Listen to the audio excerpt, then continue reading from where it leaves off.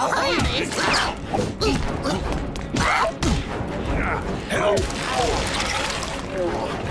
least I finally got that flat stomach.